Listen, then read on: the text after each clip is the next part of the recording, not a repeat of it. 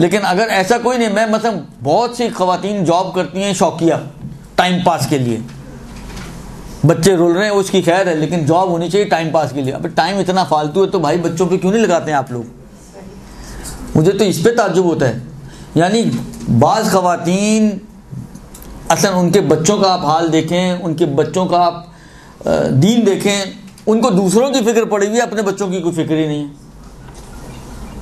बाबा, आपसे दूसरों के बच्चों का सवाल नहीं किया जाएगा, आपसे आपके बच्चों का सवाल किया जाएगा।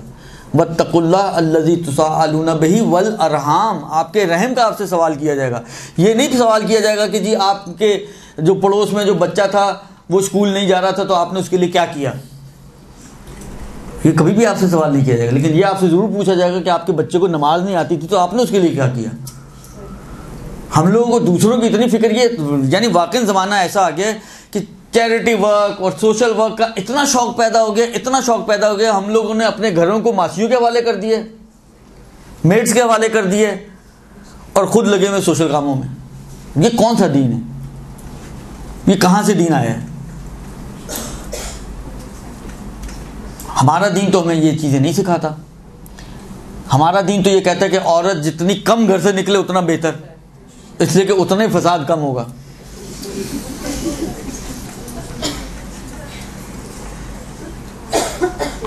दुरुस्त?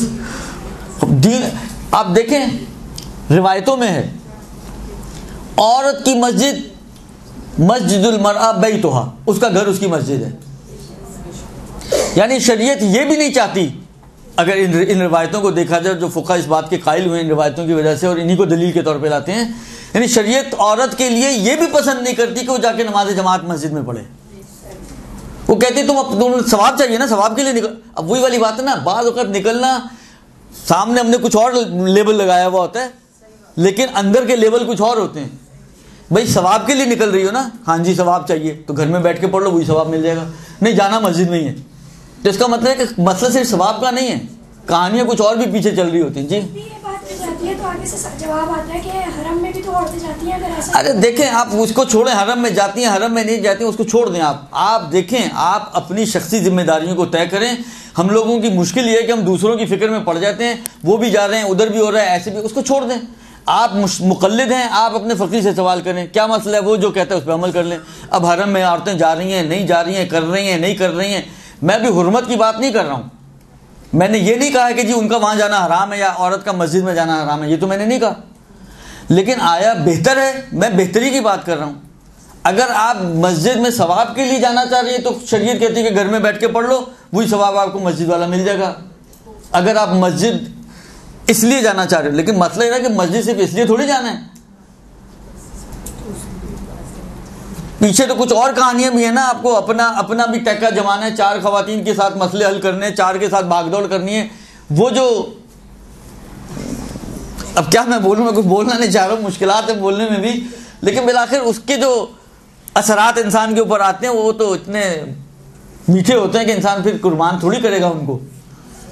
तो कहने का मकसद ये कि हम पहले, पहला मरहला आपके घर का मरहला, बाद ने यहाँ तक ये बात कही है। अगर से मैंने रिवायतों में नहीं देखी लेकिन बाद उलमा ने ये जुमले कहे हैं मैं उनके बाप से आपकी ओह। हमारे मस्जिदों में होता है ना नमाज़ घर पे पढ़े घर पे पढ़े। आगा खुई वगैरह का यही नज़रिया था। अर्ज़ करूँ आपकी खिदमत में क्या बोल रहा था मैं? हाँ बाद उलमा यहाँ तक कहते हैं कि आप गौर करें औरत को खुदा ने फारगुल बाल रखा है। ना कमाने की ज़िम्मेदारी और घरेलू ज़िम्मेदारी भी वाजिब तो बहरहाल नहीं की अगर चाहे मुस्तब है, ताकीद है, बहुत ज़्यादा वो सब अपनी जगह पर है, लेकिन बिलाखिर वाजिब तो नहीं रखी। तो ये फारिग खातून को खुल खल क्यों किया खुदा ने? जिससे ना खुदा ने घर के काम लेने हैं, जिससे ना खुदा ने बाहर के काम लेने हैं तो इसको खल क्यों किया? कहते हैं जी, तरबियत और रात के लिए। इसको फारिग रखे ताकि ये अपनी पूरी अटेंशन अपनी पूरी तवज्जो, अपना पूरा टाइम अपने बच्चों को दे। क्या कर रहे हैं आजकल हम लोग? क्या कर रहे हैं हम लोग? आप मुझसे ज़्यादा समझती हैं और आपके सामने ये मुश्किल मुझसे ज़्यादा हैं कि बच्चों का क्या हाल हो रहा है, बच्चों के दीन का क्या हाल हो रहा है, बच्चों की पढ़ाइयों का क्या हाल हो रहा है। वही जो मतलब हम अपनी बच्चियों को पढ़ाते हैं ना, क्यों पढ़ाते हैं? पैसा ज़ाया करने के लिए पढ़ाते हैं। इनके बच्चों ने भी पढ़नी तो ट्यूशन ही होती है। पढ़ाते क्यों? इंसान इसलिए पढ़ाता कि बिलाखिर आप अपने बच्चों को घर पे टाइम दें। जिस तरह जिस दिलसोजी से आप अपने बच्चे को टाइम दे सकती हैं आपका क्या ख्याल है? कोई दूसरी उस वज, उस तरह से दे सकती है? माँ से ज़्यादा दिलसोज कोई और हो सकती है आपके बच्चों के लिए? तो जो दिलसोज हस्ती है वो तो लगी हुई दूसरे कामों में। तो दूसरे से आप कितनी दिलसोजी का तो रख सकती हैं?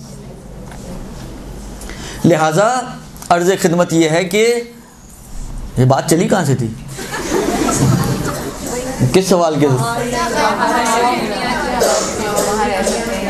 बहरहाल, अब जहाँ से भी चली थी। तो खुलासे कलाम यह है कि आप लोग, मैं बारहा यहाँ से इसी जगह से ये बात अर्ज़ कर चुका हूँ। ये पहली दफ़ा मुझे पता है, मैं नहीं कह रहा हूँ। मैं कई दफ़ा ये बात कह चुका हूँ, लेकिन वही वाली बात है फजक्र इन ज़िक्र तनफ़ुलमिन कि तजक्र जो है वो मोमिन को फ़ायदा पहुँचाता है। बार बार एक बात दोहराते रहने चाहिए चाहिए। इसलिए मैं इस बात से आपकी खिदमत में बार बार ये अर्ज़ करता हूँ कि अपने बच्चों को, अपने घरों को टाइम दें।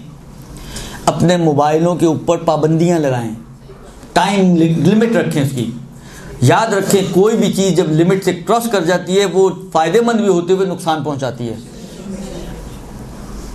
विलायत अहल बैत अलैहिस्सलाम कितनी फ़ायदेमंद है कि उसके बगैर आपका कोई अमल कबूल नहीं है, लेकिन अगर उसमें भी आप एक्सीड करके उनको खुदाई के मरहले तक ले जाएँ तो वो भी आपके लिए नुकसानदेह है या नहीं है? विलायत जैसी चीज़ कि जिसके बगैर कोई अमल ही कबूल नहीं है, लेकिन उसमें भी आप इतनी तादी कर जाएँ, इतनी ज़्यादा रवि इख्तियार करें कि वली खुदा को खुदा बना डालें। अमीरुलमोमिन को जो इमाम हैं वली खुदा हैं, उनको हम इमामत के मरहले से हटा के खुदाई के दर्जे तक ले जाएँ तो क्या आपके ख्याल में ये कोई अच्छा अमल है? आप कहें यार, मोहब्बत अहल बैत ही तो है ना। बाइन इनके मोहब्बत अहल बैत है, मगर हमें इसकी इजाज़त नहीं, इसलिए कि आप लिमिट क्रॉस कर रहे हैं। तो लिमिट जहाँ पे भी आप क्रॉस करेंगे, ये वो चीज़ हो सकता है, फ़ी नफ से ही अच्छी हो, उसमें कोई कबाहत ना हो, लेकिन जब एक्सीड होगी लिमिट तो फिर वो हतमन अपने बुरे असरात ही छोड़ के जाएगी, फ़ायदा नहीं पहुंचाएगी आपको वो चीज़। जो घरेलू खातन है, कितनी घरेलू खातन है कि जिनके कारोबार इन मोबाइलों पे चल रहे हैं, उसके बावजूद जब देखो वो आपको ऑनलाइन मिलेंगी।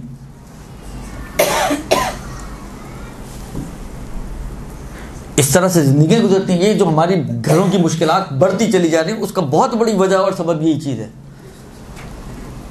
बाबा, अगर बहुत शौक है, आप कोई टाइम रख लें हर दो घंटे बाद, ढाई घंटे बाद कोई दस मिनट के लिए उठा लें मोबाइल। ये थोड़ी कि चौबीस घंटे मोबाइल आपके हाथ में, सोते हुए भी आपके हाथ में ही होता है। जहाँ खुली, वहाँ फ़ौरन चेक कर लिए कोई बाबा, कोई मैसेज अगर दो घंटे बाद चेक कर लेंगे तो कौन सा आसमान ज़मीन पर आएगा? हम लोगों ने अपनी ज़िंदगियों को खुद मुश्किल बना लिया है। हमने अपनी ज़िंदगियों को खुद परेशान कुनंदा बना लिया है। आफतें कहते ना, आ बैल मुझे मार, ये हम खुद कर रहे हैं अपने साथ। खुद अपनी ज़िंदगियों को हमने खिलौना बना दिया ये चीज़ें इतनी अर्जिश और अहमियत नहीं रखती कि हम इनके ऊपर अपने बच्चों के दीन को, अपने बच्चों की ज़िंदगियों को कुर्बान करें। आपके बच्चों का दीन, आपके बच्चों की ज़िंदगियाँ, आपके बच्चों का मुस्तकबिल इन मोबाइलों से और इन इंटरनेट और फेसबुक और ट्विटर और अला और बला और इन मुसीबतों से कहीं ज़्यादा अर्जिश रखता है। क़यामत में आपसे कभी भी इंटरनेट के बारे में सवाल नहीं किया जाएगा, कौन सा तुम्हारे पास था, कितनी स्पीड थी, क्या था, क्या नहीं था। लेकिन आपकी औलादों का आपसे सवाल किया जाएगा। तो हम उन चीज़ों के पीछे लगे हुए जिनका सवाल नहीं होना हमसे, और उन तमाम चीज़ों को हम छोड़े बैठे हैं जिनका हमसे सवाल होना है। तो हम कौन सी क़यामत, फिर वैसे हम बड़े दीनदार लोग हैं।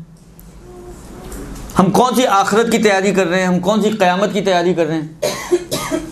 हम कौन सा अपने आप को उस दुनिया में जाने के लिए आमादा करें तो डर तो खुद ही लगेगा ना मरने से फिर। जब कुछ करेंगे नहीं तो मरने से तो डरेंगे। लेकिन जिनका सारा कुछ क्लियर हो तो उसको ला खौफ अलहिम वला हम याजन ना कोई खौफ होता है, ना कोई डर होता है, ना कोई हुजन होता है। तो हम लोगों ने अपनी ज़िंदगी को परेशान करने वाला खुद बना दिया। आप लोगों से गुजारिश ये कि अपने बच्चों को टाइम दें, अपने घरों को टाइम दें, इस नेटवर्क की दुनिया से बाहर आ जाएँ।